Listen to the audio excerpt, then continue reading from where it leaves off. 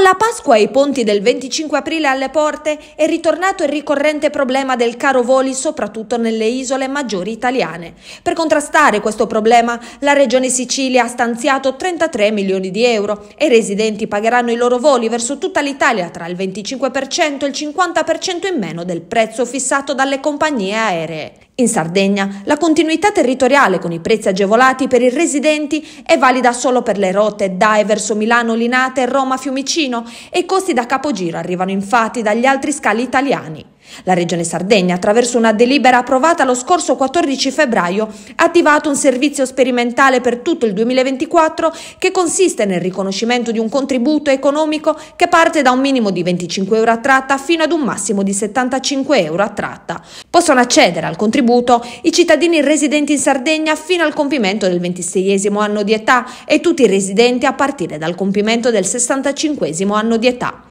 I residenti che appartengono alle categorie beneficiarie possono chiedere il rimborso attraverso la piattaforma Sardegna Trasporti, un servizio non valido per i voli in continuità territoriale, ma riferito alle rotte di collegamento tra aeroporti situati in Sardegna e tutti gli aeroporti situati all'interno dello spazio economico europeo.